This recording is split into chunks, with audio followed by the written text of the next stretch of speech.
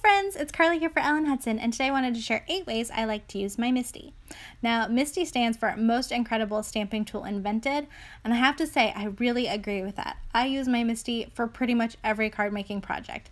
That hinge design lets you get consistent stamped results, and is also great for lots of other techniques. So let's talk about some of them. Now, the first one is stamping. that's pretty obvious, right? but it makes stamping so easy and has completely replaced all the other sizes of acrylic blocks I have in my craft room. I love that you get a second chance to ink up a stamp. It makes me a much better stamper, and I save lots of cardstock because I used to throw out all of the images that didn't feel perfect. Okay, so now you can see I've got cardstock in my MISTI. When I figure out where I want my stamp to go, I just close the lid of the MISTI to pick up the stamp. And then with it perfectly in place, I can secure my cardstock with magnets. Now the MISTI comes with two circle magnets, but I have purchased the bar magnet and I find that works a lot better for me, but I think it's kind of like mascara. You kind of have to figure out what works best for you. Once I've secured my cardstock, I can ink that image up and then I can stamp it down onto my cardstock. Now, typically, I feel I have a few spots that are a little understamped, so I ink up my stamp and stamp again and that ability to restamp makes the MISTI my favorite tool in my craft room. So that brings me to a second way I like to use it, and that is making duplicate cards. So the stamp is already exactly where I want it to be, so it's easy to put in a fresh piece of cardstock and stamp again.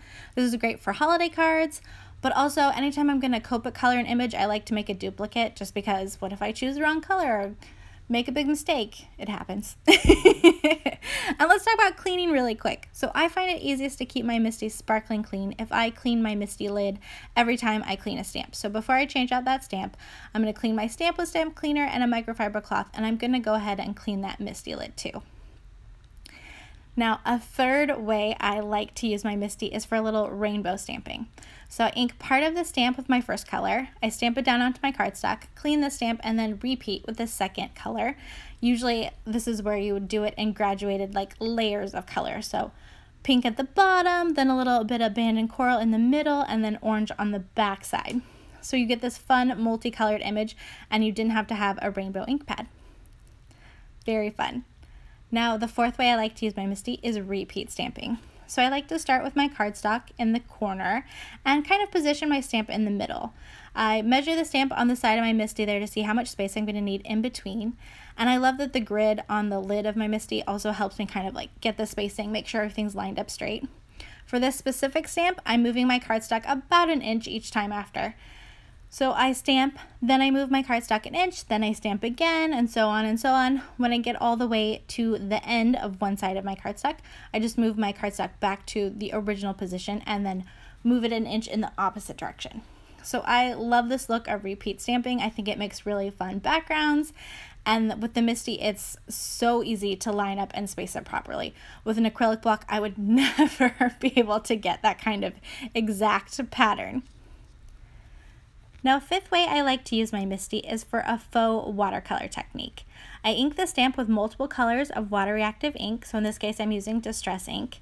Then I mist it with water before stamping onto watercolor cardstock. I like to use my MISTI for this technique even though acrylic blocks work too, but with a MISTI I can add more ink or more water and make it look even more watercolory. That's a word, right? now the sixth way I like to use my MISTI is for creating ink smooshed backgrounds. Again, this is a technique you could do with an acrylic block, but if you've got your MISTI out, why not? So you just put those water reactive inks directly onto your MISTI lid, mist with water, and close onto your cardstock, and you get this great background. Now another way to use a MISTI is for a little bit of shading. This is a fun technique on solid stamps. So I've already stamped once in the orange. So I'm going to clean the stamp and then use a blending brush to add a little bit of pink to the edges of that stamp.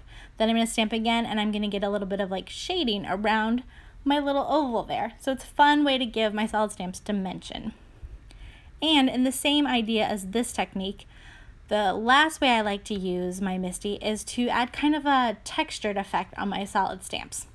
So again, I'm going to stamp in one color and then I'm going to use a little scrap of plastic wrap or bubble wrap or really anything you have. You could use string, just get creative with the texture part and apply a second color to your stamp, then stamp it again.